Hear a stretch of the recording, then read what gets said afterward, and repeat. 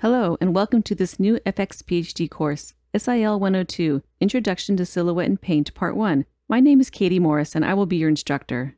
Comprised of seven classes, this course will familiarize you with Silhouette's comprehensive paint module and help you develop a solid foundation from which to build upon. The course begins with brief introductions to the various parts of the paint interface. Silhouette is unique because of its high dynamic range, non destructive hybrid raster vector paint system Paint strokes can be selected, match moves stabilized, and deleted.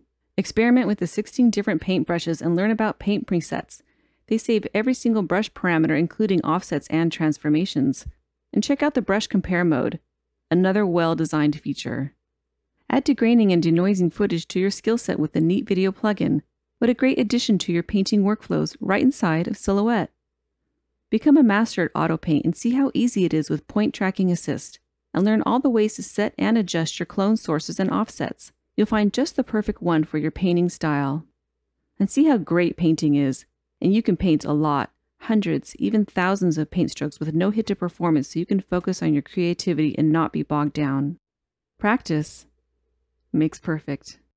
And a visual effects paint course wouldn't be complete without a wire removal shot, and this class certainly has one. Tracking, clean plates, source match move, frame by frame painting, my shot approach includes it all to get the work done. So whether you're just starting out or a VFX veteran, this class is for you.